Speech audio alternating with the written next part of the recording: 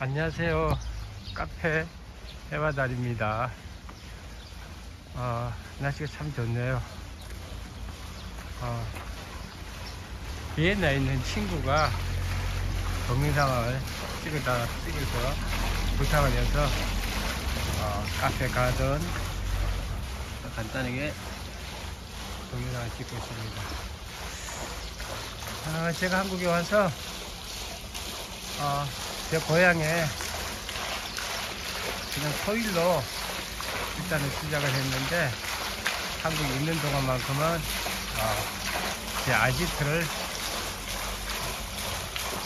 만들어 보고자 합니다. 어떻게 보면은 정실천이 아지트가 되겠죠. 여기가 저희 가든이고요. 어, 그리고 카페 입구는 어, 이렇게 시작이 됩니다. 예, 이렇게 시작이 돼서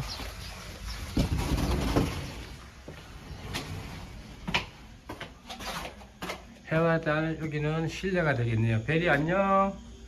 예, 내 친구 베리입니다. 베라 안녕.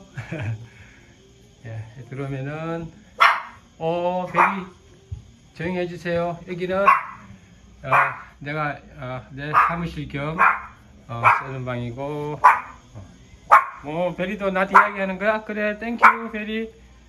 예, 이렇게 룸이 있고요. 예, 전체적인 분위기는 예, 이렇습니다. 겨울에는 이 페치카를 이용할 계획이고요. 어, 전체적으로 저희 어, 누나하고 예, 자영이 정보를 어, 디자인하고 어, 지었다 할 수 있겠네요. 단체가 오면은 이렇게 해가지고 예, 저기까지 터면은 단체석도 예, 될 수가 있습니다. 예, 카페 해와달 정순천이었습니다. 베리 안녕.